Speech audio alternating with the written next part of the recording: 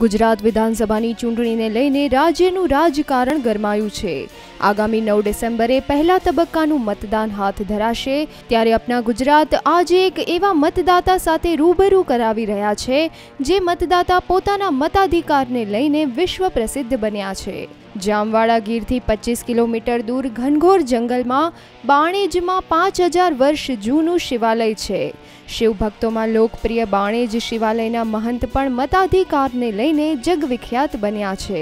મહંત ભરતદાસ બાપુ બાણેજ બૂથના એકમાત્ર મતદાતા છે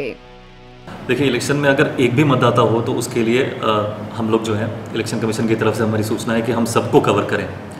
तो उस एक मतदाता के लिए भी हम जंगल के अंदर 25 किलोमीटर दूर जाते हैं और एक पूरा एक मतदान मथक जो है उसको हम वहाँ पे तैयार करते हैं और एक पूरी पोलिंग पार्टी जो है वहाँ पर जाके पूरी सुविधा उनको देती है कि वो मतदान कर सकें तो इलेक्शन के अंदर और डेमोक्रेसी के अंदर एक एक मतदार जो है वो बहुत इंपॉर्टेंट होता है ચૂંટણી પંચ એક મત માટે બૂથ ઊભું કરે છે પરંતુ રાજકીય નેતાઓને આ મતની એટલી કિંમત ના હોય તેવું લાગી રહ્યું છે ભરતદાસ બાપુએ જણાવ્યું કે અહીં કોઈ નેતા પ્રચાર માટે ક્યારેય નથી આવ્યા. વર્ષ બે હજાર બેથી ભરતદાસ બાપુ અહીંના એકલા મતદાતા છે. દર વખતે મતગણતરીમાં આ મત ખુલ્લો થાય છે અને લગભગ મોટાભાગે ભાજપમાં મત આપ્યા હોવાનું બહાર આવ્યું છે.